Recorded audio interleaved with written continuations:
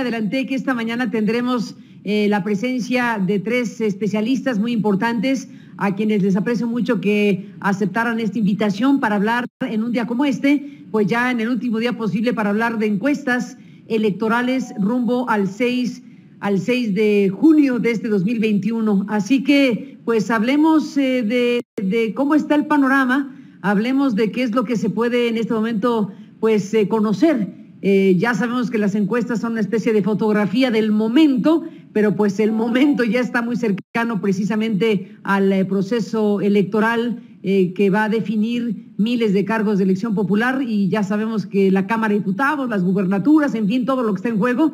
Así que saludo con mucho gusto a Alejandro Moreno, director de encuestas y estudios de opinión del financiero. Gracias Alejandro por tomar la comunicación. Bienvenido al programa.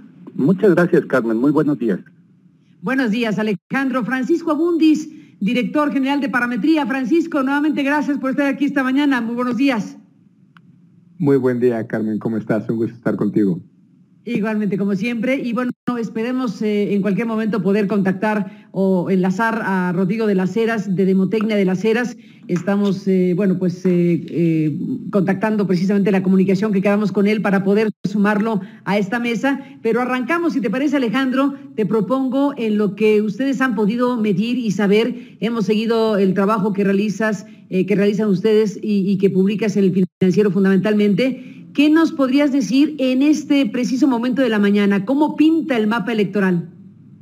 Sí, muchas gracias, eh, Carmen. Pues bueno, hoy publicamos precisamente lo que sería nuestra última encuesta nacional. Es una encuesta nacional de 2.000 casos, es vivienda la mitad, de telefónica la otra mitad. Y lo que vemos es un escenario en el que Morena lidera con 39% la intención de voto efectiva para diputados federales el PAN y el PRI en un empate 21-20 y en suma, tomando en cuenta los aliados más eh, pequeños de estos eh, principales partidos, pues el escenario es Morena PT Verde 46%, PAN PRI PRD 44%, enormemente dividido. Esta es, digamos, una encuesta que se hizo este fin de semana, nos muestra un grado de competencia pues sorprendentemente más más eh, claro de lo que se esperaba hace algunas semanas, Carmen. Y lo que ofrecemos para revestir un poco esta distribución de preferencias son varios factores. Te comento muy rápido. Uno, el factor participación. Estimamos que va a ser muy similar a la de la eh, elección intermedia previa, que fue la de 2015, alrededor del 48%, poquito más, poquito menos, sorprendente porque seguidores de PRIPAN lucen más motivados a votar en esta elección que los de Morena. Yo creo que ahí hay un factor de participación que hay que tomar en cuenta. Punto dos, muy breve. La migración de votos de López Obrador del 2018 es muy similar a las de los votantes Miriam Naya, con una excepción. Los de Miriam Naya se están yendo aleatoriamente a otros partidos, mientras que los López Obrador se están regresando a los tradicionales. PAN, PRD y PRI, y creo que eso es importante. Por último, el factor más decisivo en la decisión, o, por lo menos en cómo se dividen los votos. La aprobación presidencial, claramente un factor detrás de la preferencia, pero más aún, todavía más que la aprobación del presidente, que por cierto la medimos en 59%, está la postura ante la cuarta transformación. Estar a favor es mayoritariamente por mucho estar con la coalición de Morena, estar en contra todavía más por la coalición opositora. Entonces, pues ahí están esos datos, Carmen, si quieres este, podemos regresar a ellos. Seguro que sí. Em, le preguntamos a Francisco Bundis Luna, director de Parametría. Francisco, eh, ¿cómo ven ustedes, cómo ves tú el panorama electoral para, para efectos prácticos? ¿Qué, destacarías eh, en las informaciones que han podido medir? Mira, eh, en nuestra última medición que publicamos ayer con Bloomberg y reportamos hoy en, en, Milenio, eh, creo que eh, tenemos un, partido en el gobierno Morena con una ventaja que no se presentaba hace 30 años, que me parece un dato más que relevante. Es decir, cuando los partidos llegan al poder, suelen bajar en su siguiente elección, en la intermedia, con menos preferencia de con la que llegaron o con la que ganaron. Morena en 2018 ganó con 37.25. Eh, hay que decir que aquí hubo 15 puntos de diferencia respecto al presidente, es decir, eh, por el presidente, como bien sabes, votó más de la mayoría absoluta del país, 53%, pero Morena obtuvo 37 prácticamente todas las mediciones, las más cerradas o las más abiertas, todavía una previa de reforma lo tenían 45, ayer reportó 43, pero finalmente todas las mediciones, eh, nosotros lo tenemos en 40, están reportando a un, a un morenismo o a morena por arriba de su dato previo, que nuevamente esto no pasaba hace 30 años cuando el partido de la, eh, eh, del presidente Salinas eh, obtuvo 56% y con, y con eso 320 curules. Luego nosotros tenemos al, PRI por arriba de Acción Nacional con 16 puntos, muy alejado de este 40%, y Acción Nacional con 15.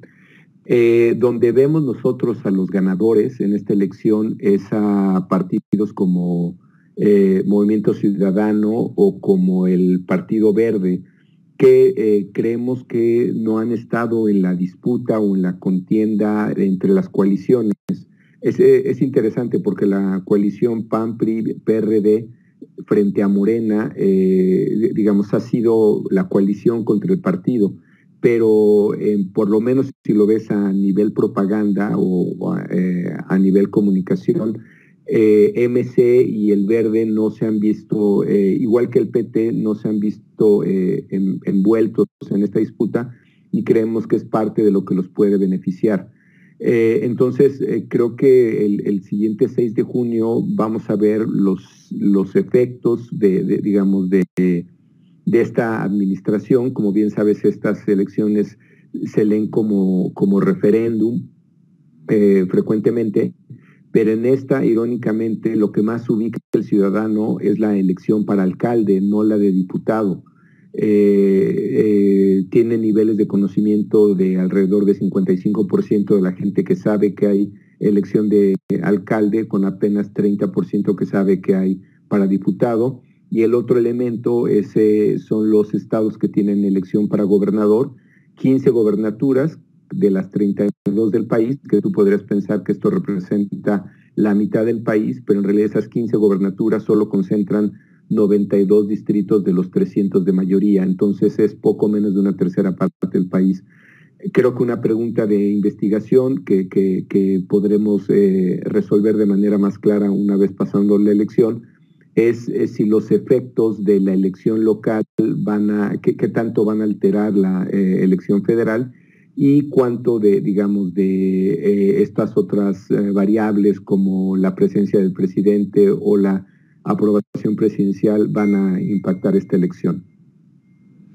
Bueno, déjenme dar la bienvenida, gracias Francisco Abundis eh, de Parametría, déjenme dar la bienvenida a Rodrigo de las Heras Galván de Demotecnia de las Heras, de las Heras Demotecnia. Gracias Rodrigo por estar aquí y de incorporarte a la mesa. Buenos días. ¿Cómo están? Buenos días a todos. Ya te perdiste lo que dijo ya te perdiste lo que dijo Alejandro Moreno y lo que dijo Francisco Abundis, así que nos vas a contar qué pasa con tu revisión del mapa electoral, que es la pregunta que estamos eh, arrancando para la mesa. Cuéntanos, Rodrigo. No te preocupes, Carmen, ya me lo sé lo que dijeron, no te preocupes. no lo sabes porque no estabas aquí, pero bueno, te lo imaginas. sí, sí, sí, ya. Oye, no, mira, yo lo que veo es este otra vez un partido dominante este, con competencia más y menos en algunos lugares. Este, sin embargo, el Congreso igual veo a un partido que domina, este, que con aliados va a rebasar los 250 fácilmente, andará por los 310, 320 diputados. En las gubernaturas yo veo que está hay, hay, hay eh, dos, este, básicamente, en donde Querétaro y San Luis Potosí, en donde no veo que gane Morena.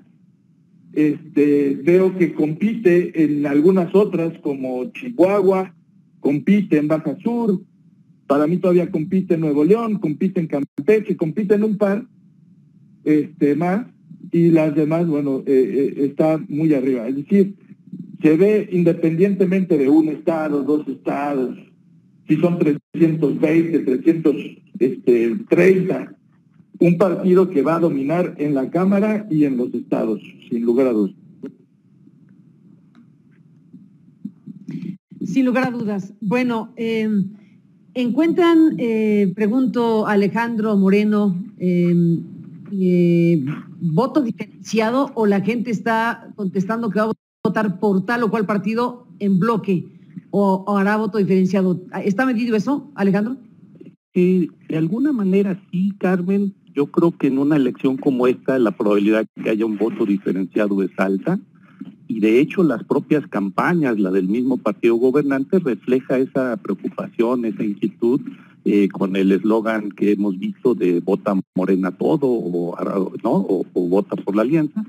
Em, sin embargo, pues aquí creo que cada elección va a tener su dinámica. Tenemos 15 elecciones para el gobernador que creo que generan una dinámica diferente a la del resto del país. Tenemos, por ejemplo, en esos 15 estados, solo para darte un dato, la aprobación del presidente es ligeramente menor a su promedio nacional, lo cual te quiere decir que está mejor ubicado en aquellas donde no, este, donde no hay elección.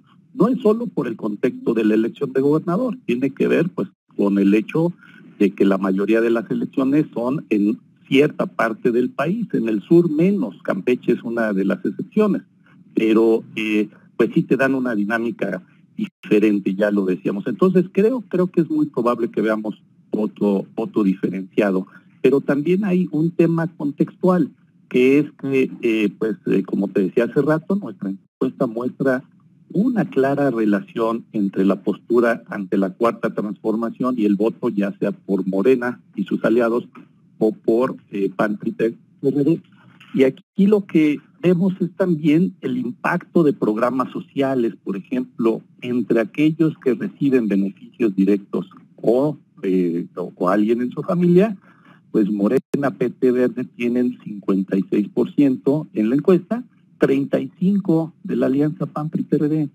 Si tomas aquellos que no reciben, eh, la alianza va adelante 7 puntos, 47-40. El otro lado también, el de la pandemia, ya recibió vacuna, 2 a 1 a favor de Morena. Algún familiar ya recibió vacuna, empate. No han recibido vacuna, a favor de la oposición. Entonces, pues estamos encontrando relaciones. Ah, caray, así, así de directo. Perdón. Eh, digo que, ah, caray, así de, así de directa la relación vacunas-preferencia. Eh, es muy directa. Solo para, para repetirte el dato, quienes ya están vacunados directamente, Morena PT Verde 60. Quienes reportan vacuna en su hogar, pero no ellos, 45. Quienes no han recibido, 42. Y por supuesto, el voto de la oposición va creciendo conforme te mueves de los vacunados a los no vacunados.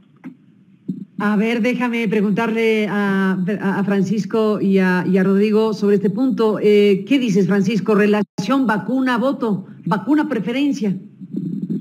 Sí, creo, creo que ese es más coyuntural. Eh, de los que mencionó Alejandro, creo que eh, el que estamos observando ya desde hace mucho tiempo que tiene un impacto muy fuerte sobre la aprobación y sobre las preferencias electorales son los, son los, los programas sociales. Y en términos de números, eh, creo que me sorprende que a veces algunos analistas vean la, la, aprobación presidencial más como resultado de la comunicación del presidente que de un elemento concreto como son estos programas sociales. Según INEGI, eh, uno de cada cuatro hogares en el, país recibe uno de estos programas. A nivel individual estamos alrededor del 36%, 37%, y a nivel familiar, es decir, más allá de tu hogar, tu tía, tu abuelo, eh, pueden llegar estos programas alrededor de 50% si se mide de manera familiar. Me parece que este va a ser el elemento más importante eh, en, esta, en esta elección. Ciertamente hay una, hay una correlación muy clara con la aprobación y también con la, con la, con la preferencia por el, por el partido en el, en el, gobierno. Eh, creo yo que el tema de la, de la, de la vacunación es, es importante, pero el de las ayudas sociales tiene mucho más peso, por lo menos en números. Rodrigo Galván de las Heras, ¿cómo lo ves tú? ¿Cómo lo ve Demotecnia?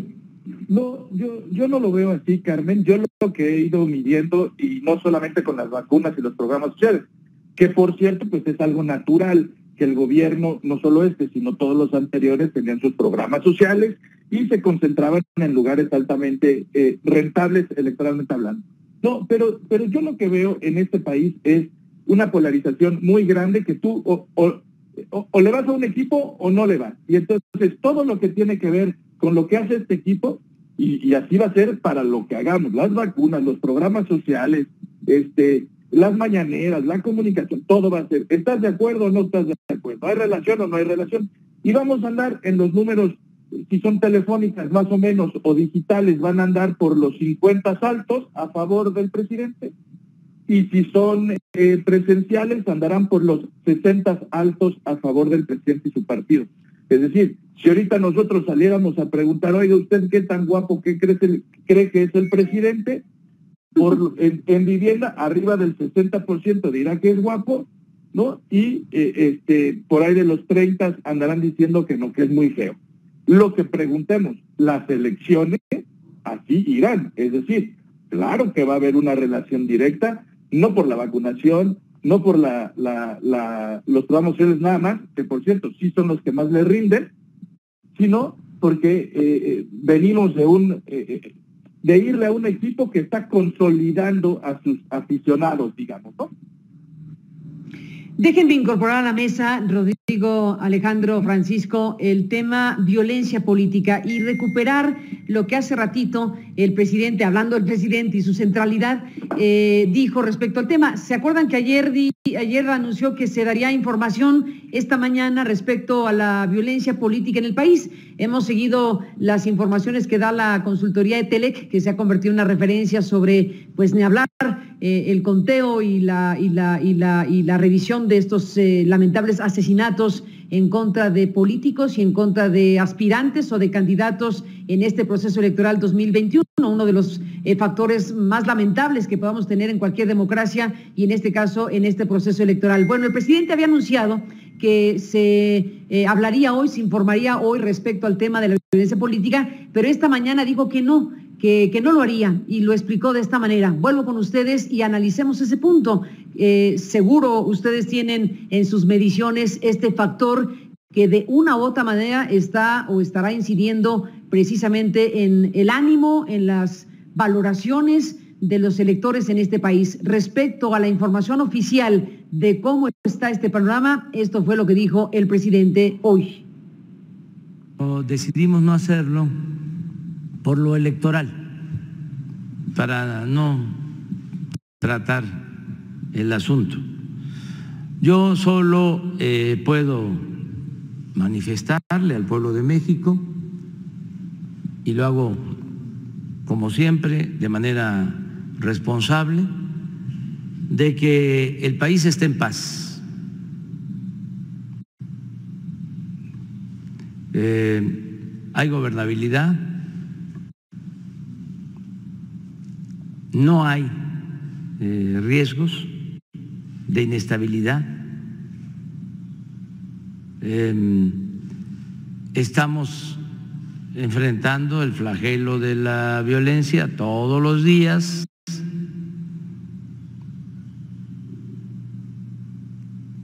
Y se puede hablar de paz y de tranquilidad en el país.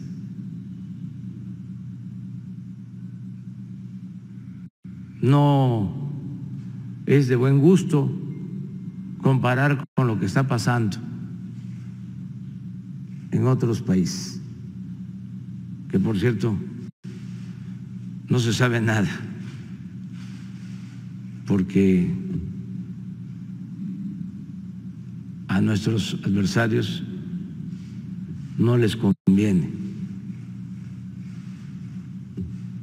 que se sepa sobre lo que sucede en otras partes, en donde hay inestabilidad, hay confrontación, hay violencia política, Es lo que dijo el presidente esta mañana y bueno, pues respecto a informar, a dar información dura del propio gobierno de la República, pues eh, como ya escucharon, decidió no hacerlo, a pesar de que había prometido pues presentar información al respecto. ¿Qué eh, impacto puede tener este factor? Las imágenes, las informaciones, los reportes que se tienen de forma independiente al gobierno, que nos hablan de decenas de asesinatos eh, relacionados con las campañas y todo esto que está aquí en el programa. ¿Qué es lo que ustedes ven y pueden medir? Alejandro, cuéntanos.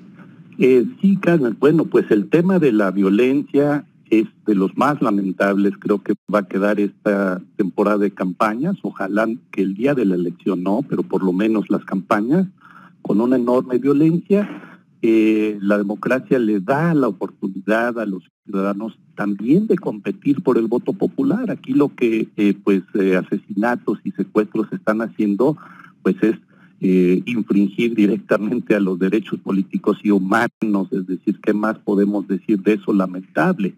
Una cosa curiosa, Carmen, diciendo mayor de 50, pues tú recordarás, eh, eh, yo en todo caso me evoca el presidente antes cuando escuchábamos a los políticos decir que no hay crimen o no hay crisis, es la gente solía decir si hay crimen y si hay crisis, es decir, justo lo contrario.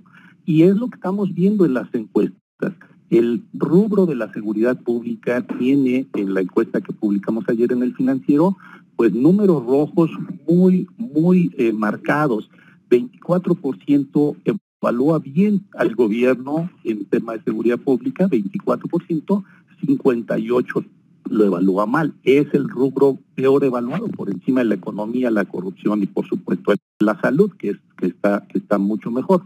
Pero en ese sentido sí te da una idea del temor que hay sobre el, el asunto de la seguridad pública. Conforme ha caído la pandemia como problema principal en las encuestas, ha crecido casi estrepitosamente de nuevo, ya venía antes de la pandemia, pero está retomando el lugar la inseguridad pública. ¿Qué efectos puede tener? Pues indudablemente la duda de si va a haber las condiciones pacíficas para salir a votar o no. Es una elección en la que sabemos que la, eh, la participación tiende a ser menor que en las presidenciales. Nosotros la estimamos el día de hoy, como te decía hace rato, en 48%. Eh, poquito más, poquito menos. Y lo curioso, y repito nuevamente, el, en nuestro estudio lo que más interesante sale es que sí está diferenciada la probabilidad de salir a votar por seguidores de las dos principales alianzas. Vemos a un eh, eh, apoyador de Morena menos movilizado, menos animado que en 2018 y bueno, eso no tengo una explicación de por qué, simplemente lo estamos describiendo, pero seguramente pudiera tener implicaciones en lo que pase este 6 de junio. Francisco Abundis de Parametría, ¿cómo lo ven ustedes? Mira, creo que ahí tenemos dos, dos tipos de eh, efectos encontrados que nuevamente habrá que esperar después de la elección qué fue lo que importó más y yo creo que lo vamos a poder medir en las encuestas de salida.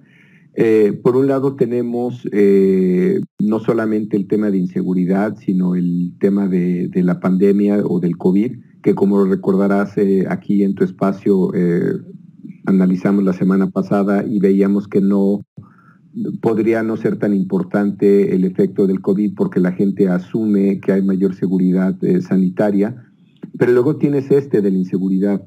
Y, eh, y, el de la inseguridad, eh, la gente lo vive como una especie de magnicidio, es decir, si esto le pasa a un candidato, a mí como ciudadano, ¿qué me puede pasar? Es un, es un sentimiento de vulnerabilidad. Y, y, estos dos posibles efectos, tanto el COVID como la inseguridad, irían contra uno que te está llevando la concurrencia hacia arriba, la, la, participación, perdón, hacia arriba, que es la concurrencia. Es decir, esta idea de que es la elección más grande de la historia, eh, lo que va a pasar es que las gobernaturas van a tener niveles de participación de 55%, las alcaldías 53%, y ha habido una tendencia a subir en, cada elección. Sí, que, es, que, que de hecho es más de la mitad de la población y nunca hemos tenido una, una, una participación en una intermedia de más de 48%. En 2003 fue de 41, en 2009 fue de 45, en 2010, em, perdón, 2009 45, 2015 fue 48, con, con estos movimientos, de, digamos, de, o con esta participación alta de las alcaldías, de, de las gobernaturas y la tendencia nacional de, de crecimiento de las intermedias, eh, es muy probable que lleguemos a tener la participación más alta que hayamos tenido en una elección intermedia, alrededor de 52-53%, y eh, esto va a depender nuevamente de estos factores que estamos analizando. Eh, yo creo que la, que la inseguridad es un tema que entre, digamos, como lo hemos visto, pueden ser fenómenos locales, pero cuando tú lo ves en un medio de comunicación te lo hace un, pues un problema genérico y eh, cuando lo medimos, digamos, en municipios concretos o en estados, ves la diferencia de cómo cuando le preguntas a la gente sobre sus problemas, eh, frecuentemente te ponen la inseguridad como los más importantes si lo, si lo pones a nivel estado. Si lo pones a nivel municipio, va bajando y ya si lo pones a nivel colonia o a nivel familia, cada vez disminuye más. Es decir, se convierte en un problema mediático más allá de un, de un, de un problema concreto. Para la gente en lo concreto, el empleo o la economía sigue siendo lo, lo más importante. Pero me, eh, ¿cómo lo va a traducir el, el lector en niveles de participación y si va a afectar en algo la preferencia electoral? Eh, como ha pasado eh, eh, en otras elecciones, creo que lo vamos a saber mejor después de las elecciones y, con encuestas de salida. Y con encuestas de salida, Rodrigo Galván de las Heras, ¿cómo lo ven ustedes? No, yo, yo para muchos temas, ¿no? Para empezar, yo no veo una participación alta, yo veo más bien una participación baja y bueno, el nivel de las campañas, de los candidatos, la alianza que espanta a varios más que unirlos, y ese nivel de inseguridad que se está presentando, porque al presidente lo que hay que decirles, pues que tenemos otros datos, ¿verdad? Porque nunca se habían visto tantos candidatos secuestrados, asesinados como en esta ocasión. ¿eh? Entonces, eso es una cosa. Aquí lo que me preocupa es que, eh, hablan, regresando al tema de la inseguridad, pues desde, desde las mañaneras nos dicen que se vale, y se vale porque pues ahorita dijo que no se quería meter en lo electoral, pero ya acusó a sus adversarios, entiendo yo por adversarios un tema electoral, quiero pensar en un tema electoral, este, a sus adversarios de no difundir datos de otros lugares, porque, o sea, vemos la violencia empieza desde ahí, y cuando se bajan los estados y se bajan las campañas, de la gente que pertenece al partido del presidente, pues parece que es normal este, eh, hablar de, de, corrupción, de insultar, de acusar.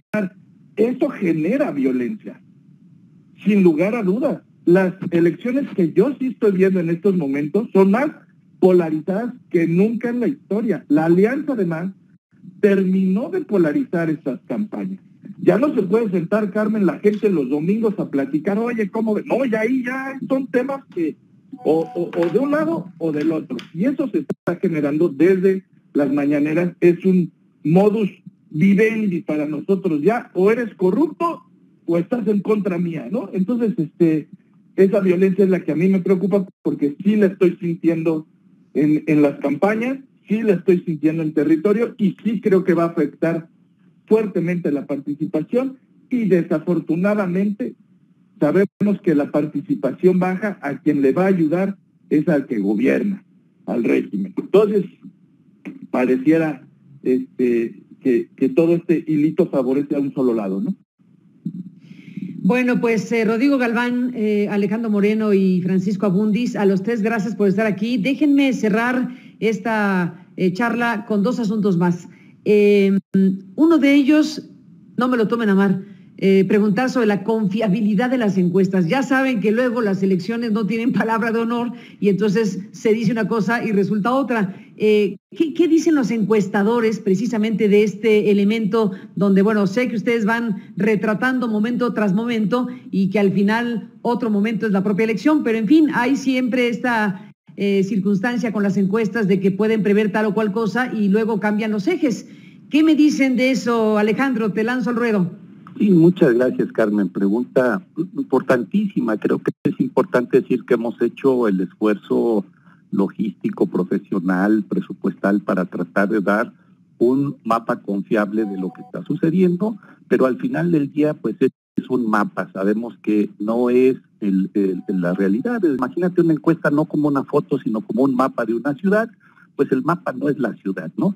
Ya veremos el, 6 de junio qué sucede, pero por, supuesto que tratamos de que sea lo más confiable ese mapa, eh, que te oriente, que, que nos sirva como una brújula. Por supuesto, ya hay mapas mucho más sofisticados que las antiguas guías ROSIS. Tenemos Waze, tenemos navegadores y creo que hacia allá van las encuestas en una evolución tecnológica. Pero no dejan de tener eh, problemas y fuentes de error. Una de las principales preocupaciones, te la planteo Carmen y a, y a mis queridos colegas aquí en la mesa, es que las encuestas han sido históricamente en nuestro país muy buenas para medir elecciones cuando no hay cambios abruptos, es decir, hemos medido muy bien el status quo, pero hemos fallado como industria muy fuerte cuando hay cambios abruptos. En el 2000, en 2010, en 2016, con esas alianzas PAN-PRD que fueron tan difíciles de medir. Y en 2018, pues también hubo un poquito de rezago de encuestas en medir la mayoría ese tsunami, ¿no? Entonces, cuando hay cambios abruptos se ha fallado más. Aquí lo que estamos viendo es una alianza eh, por primera vez PAN-PRI-PRD con un Morena que era oposición, que hoy es partido gobernante, y parte de la falla en el pasado de las encuestas por medir estos cambios abruptos es precisamente porque los partidos gobernantes han tenido una sobrerepresentación en las encuestas que no se confirma el día de la elección. Vamos a ver qué sucede en este, en este año. Por supuesto, ya la realidad nos alcanza. Ahí dejamos nuestros mapas, ojalá que hayan sido informativos, ojalá que hayan eh, dado una guianza, pero al final del día son eso, este, Carmen, mapas. Francisco Abundis, ¿qué dices eh, para cerrar esta parte? Eh, mira, yo, yo creo que venimos de una historia afortunada, digamos, el 2018 fue una elección donde en general le, fue bien al, al gremio, aunque hubo diferencias y mucho tiene que ver con el resultado o también, como ha pasado en, otras elecciones, con la elección más visible o la más importante. Eh, la, evaluación frecuentemente se hace a partir de una sola elección, en este caso pues puede ser el Congreso o tenemos las 15 gobernaturas y yo creo que en alguna medida todas serán, visibles. Pero más, allá de la medición de la elección, que eh, creo yo, encuentro bastantes coincidencias, eh, por lo menos en el ganador, primero, segundo lugar, eh, fuerzas emergentes podemos tener diferencias. Creo que donde vamos a tener diferencias muy fuertes es en el tema de la estimación del Congreso, más allá de la medición, que podrías decir que eso ya no es algo que nos, que nos corresponda, pero finalmente es donde está el nivel de interés más, más alto, como podrás entender. De, de, él depende la gobernabilidad de este país los siguientes tres años.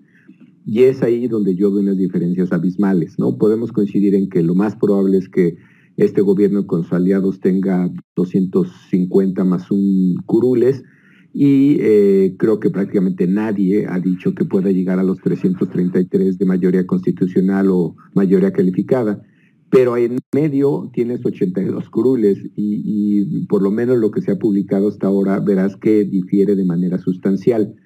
No sé si eventualmente eh, en una evaluación del, trabajo esa se puede convertir el, el, centro de, atención y no tanto en la, en la medición. Eh, te diría que básicamente eh, vamos, dependemos para esa estimación de qué va a pasar con la concurrencia, cuánto van a afectar las elecciones locales a las federales, niveles de eficiencia de cada partido.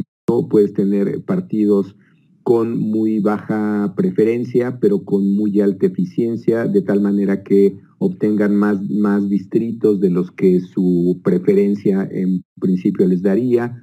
Eh, y, bueno, y, el tema que creo que es el que más genera incertidumbre eh, que es el tema de la judicialización de esta elección. Eh, digamos, a los que no nos gusta hacer predicciones, sino simplemente estar diciendo que estamos eh, haciendo un diagnóstico en el momento, lo que sí puedo asegurar que va a suceder es que entre junio, julio y agosto va a haber un proceso de judicialización de esta elección y más allá de las elecciones locales, creo que cómo se distribuyen los 200 diputados de representación proporcional van a ser un tema fundamental en esta discusión y creo que el presidente ya lo sabe.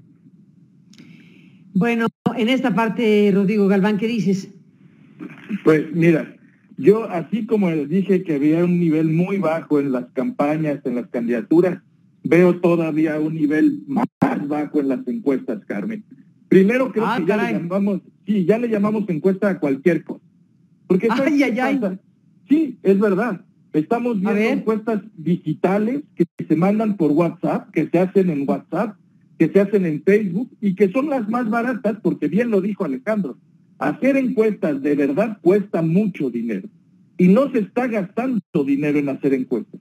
Y como la percepción de triunfo depende de las encuestas, pues cualquier eh, que, que, se meta a Facebook y haga una encuestita, un sondeo sin ningún rigor metodológico, pero además no probabilístico, que eso es lo importante, no probabilístico, pues cualquiera se anima a dar mapas, como lo está diciendo Alejandro. O sea, tenemos eh, eh, eh, medios nacionales que con 400 entrevistas telefónicas se están animando a dar escenarios electorales. Pero deja tú eso, los que vemos masivos, los que vemos de que los hacen las revistas que venden esa información, este, y todos desafortunadamente nos están metiendo en el mismo costal. Yo los, los retaría a que de aquí a la elección se metan a Oráculos, que Oráculos es este, digamos, eh, encuesta de encuestas, donde meten todas, solamente las de vivienda, que eso es importante. Porque si, si yo les digo, oigan, ¿cuántas encuestas de vivienda han visto publicadas de Nuevo León? ¿O cuántas encuestas en vivienda han visto publicadas sobre el Congreso? Y van a ver que son bien poquitas, son bien poquitas en vivienda. Entonces, en ese oráculo están todas juntas y ahí sí, porque si nos van a evaluar a los encuestadores, Carmen, junto con las digitales, junto con las telefónicas, junto con las que hizo la abuelita del candidato, que son las públicas desafortunadamente, pues de una vez mi primer pronóstico, que yo como Paco no me gusta hacer pronósticos, pero mi primer pronóstico es que a las encuestas nos va a ir muy mal. Si le hacemos caso a las de vivienda, creo que vamos a diferir muy poco entre encuestadores y vamos a diferir muy poco con lo que está ocurriendo, como diferimos muy poco las de vivienda en el 2018. A ver, déjame ver, ¿sí recomiendas Oráculos? Sí, por supuesto. Oráculos no. Lo que está haciendo Oráculos está recogiendo. Congrega. Exacto. Está recogiendo encuestas en vivienda. Pero además, en sede, en este colegio especialista en demoscopía de encuestas, hay un observatorio también ahí, en donde todas las de viviendas con rigor metodológico. ¿Sabes qué pasa, eh, Carmen? Las digitales, por ejemplo, no tienen que entregar sus bases de datos al INE. No las sabe medir ah. el INE. No las puede regir. ¿Me explico? A nosotros sí. Tenemos que entregar base de datos, tiene que ser replicable, tenemos que ponerle margen y color azul, tenemos que hacer todo. Y las digitales no. Por ejemplo, ¿no? Por ejemplo. Imagínate, entonces cualquiera, ahorita, oye, me metí al Facebook de Carmen y conté los que dijeron que estaban en desacuerdo con Paco.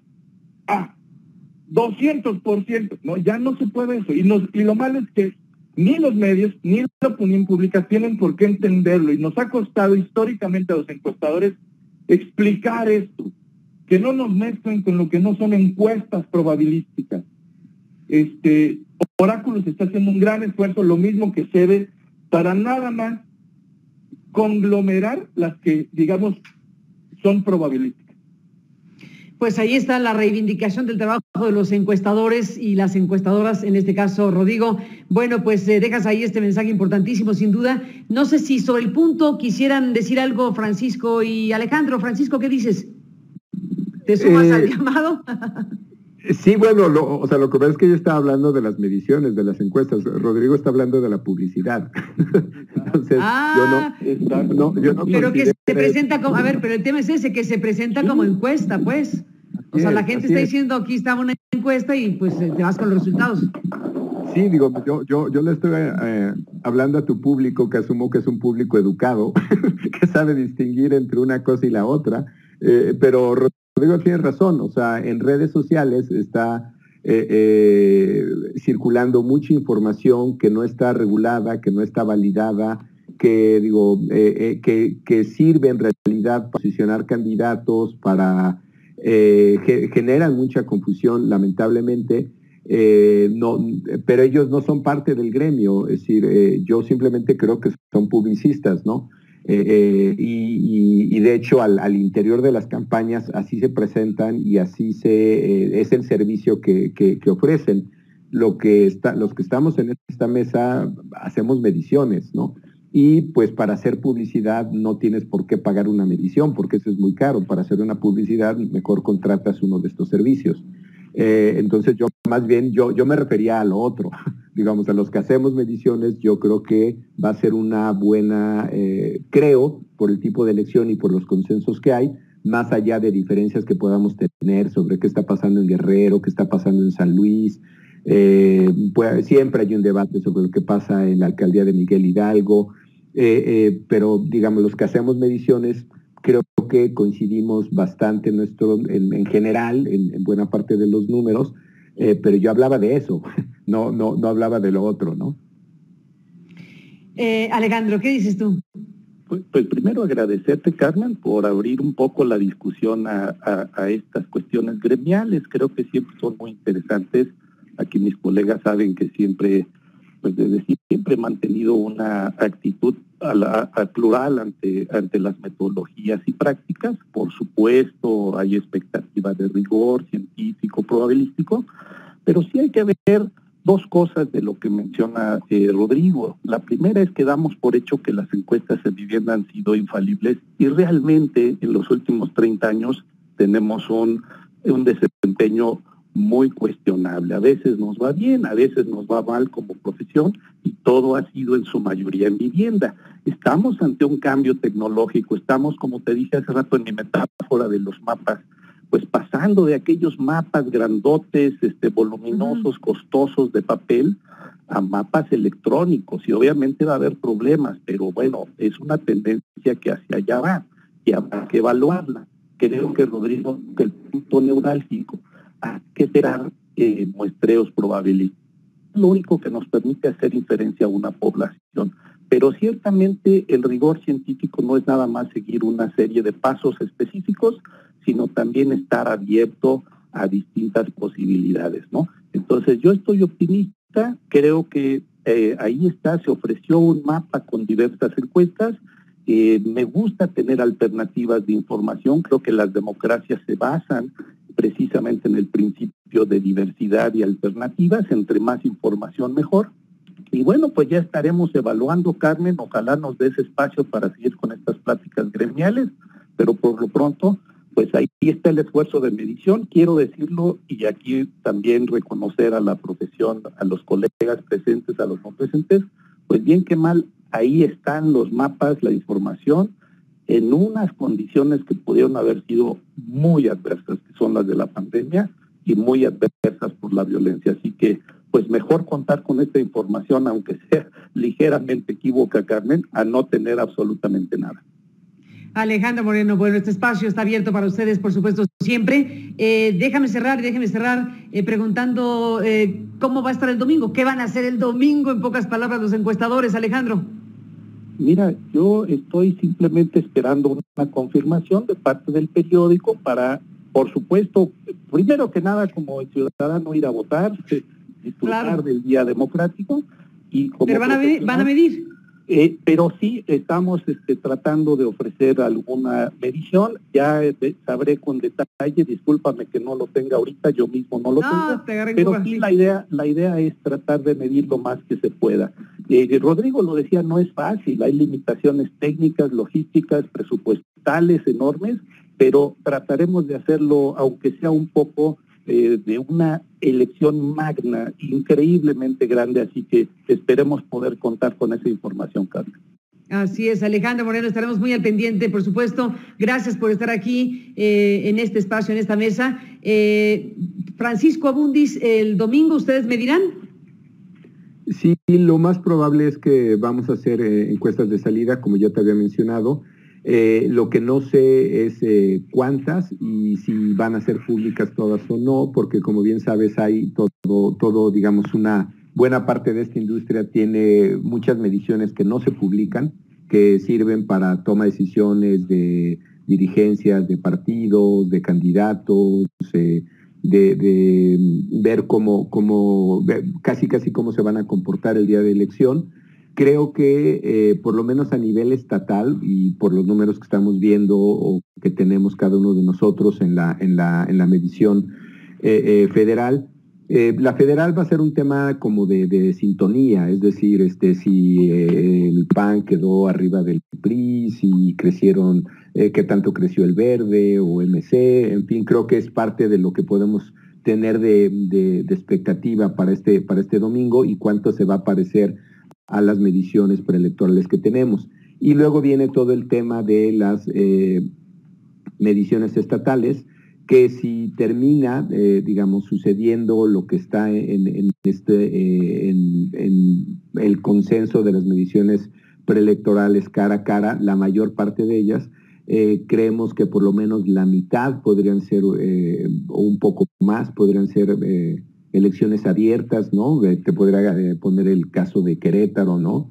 Que es probable una elección abierta, o el de Baja California, o hay como, creo yo, consenso entre algunos estados donde creemos que la elección va a ser abierta y si es así, entonces las encuestas de salida van a ser más sencillas, ¿no? Donde yo veo escenarios un poco más complicados es en las elecciones que pudieran ser cerradas, como es el caso de em, Campeche, como es el caso de, Michoacán, eh, probablemente Chihuahua, eh, y, eh, o casos que tienen problemas ya de una elección judicializada, como puede ser Nuevo León, ¿no? Pero yo creo que parece ser que podría ser un día no tan complicado, pero bueno, siempre, siempre hay sorpresas, ¿no? Siempre sorpresas. Bueno, Rodrigo Galván de las Heras, el domingo, ¿van a medir? Este, sí, yo me siento muy tranquilo del optimismo de Paco. Paco siempre me da mucha tranquilidad a mí. Y sí, estaremos eh, midiendo, estaremos en algunas, como dice Paco, no vamos a poder publicar todas, porque no, quienes las pagan no necesariamente las van a querer hacer públicas, pero en este, en este gremio somos muy chismosos y, y como por ahí de las 5 o 6 de la tarde, Carmen, ya vamos a tener un panorama muy, muy amplio, por lo menos de, de ganadores. Pero no puedes. Rodrigo, hasta, las, hasta las 8, no puedes sacarlo antes de las 8, ¿no? No, ah, no, no lo vamos a publicar, eso es otro. Ah, es que dijiste, somos muy chismosos, dije, ¿a poco se va a adelantar, caray? no, no, entre nosotros nos comunicamos y sabemos, oye, cómo ah, traes, cómo dices y tal. Este, lo, lo, que quiero decir es que para las 5 o 6 de la tarde vamos a saber perfectamente en dónde hay ganadores, en dónde no va a haber ganadores, y si no los hay para esa hora, no los va a ver el domingo, los va a ver hasta después, eh, eh, y seguramente a las 8 de la noche habrá, como dice Paco, muchísima, muchísima información confiable de todos los, los que estamos midiendo, con mucha certeza, y seguramente, porque, porque hemos ido aprendiendo con el tiempo, aquellas elecciones en donde no haya un claro, muy claro ganador, no saldrán los números tal vez hasta el miércoles.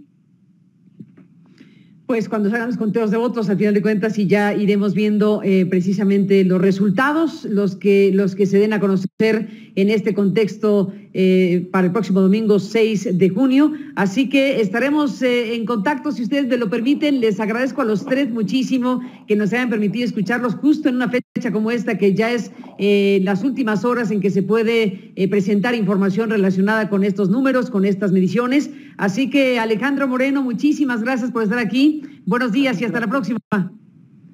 Gracias, Alejandro, que pues eh, como sabemos es el director de encuestas y estudios de opinión del financiero. Gracias, Paco Abundis, director general de Parametría. Un abrazo, Paco. Gracias a ti, un abrazo, gracias por el espacio y gracias por la, por la apertura en estos temas. Muchas gracias. Al contrario, a ti, gracias. Rodrigo Galván de las Heras, un abrazo, Rodrigo, gracias por estar aquí. Gracias a ti por invitarnos y un abrazo grande a Paco y Alejandro. Igualmente a los tres, gracias por estar esta mañana aquí. Y bueno, pues ya estaremos el domingo en nuestra transmisión especial a partir de las 5 de la tarde en el tiempo del Centro de la República en www.aristiguinoticias.com. Nos enlazaremos a las 6 con la transmisión que tendrá eh, Radio Centro en el país y la octava televisión. Y bueno, estaremos en la jornada larga en aristiguinoticias.com